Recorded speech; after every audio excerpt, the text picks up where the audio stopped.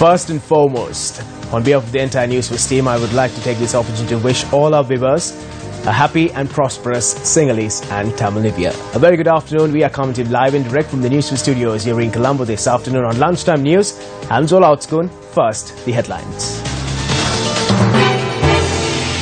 With the dawn of the new year, let us dedicate ourselves for the future of the nation. A request from the President. 50% of power generation by 2020 will be through renewable sources. Statement by Subject Minister. The Sri Lanka baseball team eyes a place at the 2020 Tokyo Olympics.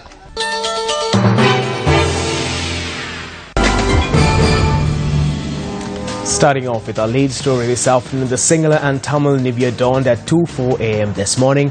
Now, people across the country celebrated the dawn of the New by following the customary New traditions. Meanwhile, President Maithripala Sirisena also celebrated the dawn of the New at his official residence in Colombo. The first custom of the new year was lighting of the hearth and cooking meals which began at the auspicious time at 5.41 this morning. President Maithripala Sirisena as well as First Lady Jayanthi Sirisena took part in the customs. The first transaction in the new year and the partaking of the first meal took place at 7.5 this morning. President Maithripala Sirisena extended his wishes to all Sri Lankans for the Sinhala and Tamil New Year.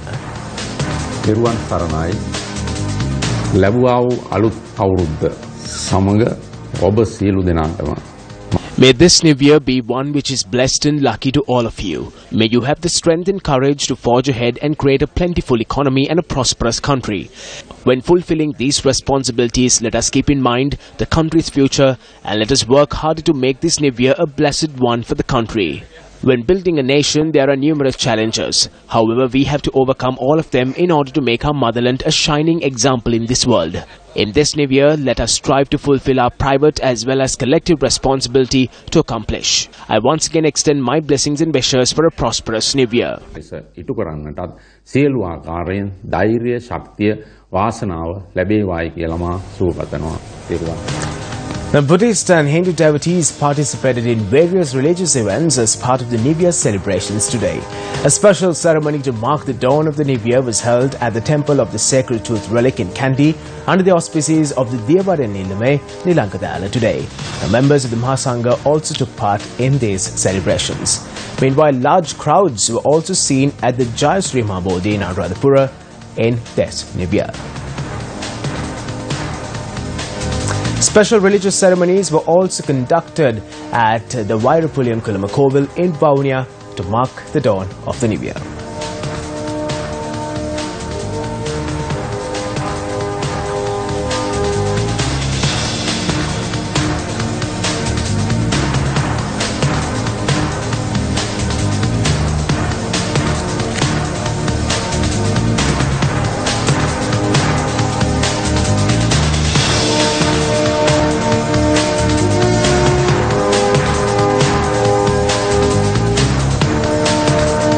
Meanwhile, the Road Development Authority says that a special program has been launched to repair vehicles that face technical difficulties on the country's expressway within the shortest possible time.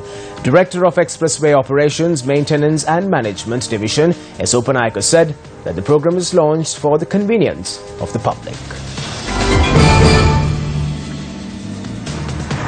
On to more local news this afternoon, another edition of the Surya Balasangrame was held yesterday under the auspices of Minister Ranjit Siyambalapitiya.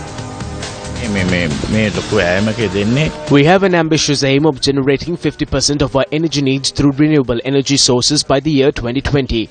I think that it is very important for the country. At present, 40% of our import expenditure is on fossil fuels, such as coal and diesel. Half of those fuels are used for the generation of electricity. When it comes to hydroelectricity generation, we have now come to the peak, but we have a huge scope when it comes to solar energy. The aim of the Surya Balasangrame is to make every roof of every building a solar power plant. We can plan to generate at least 500 megawatts through renewable energy sources by the year 2020. Megawatt පන්සියකට අසන ප්‍රමාණයක් හොයාගන්න තමයි අපි Well, with that piece of entertainment, we wrap up this lunchtime edition. Thank you very much for stopping by. We'll see you again at 1.55 with our latest Of the News update. I'm Joel Outskun. Have yourself a great day ahead.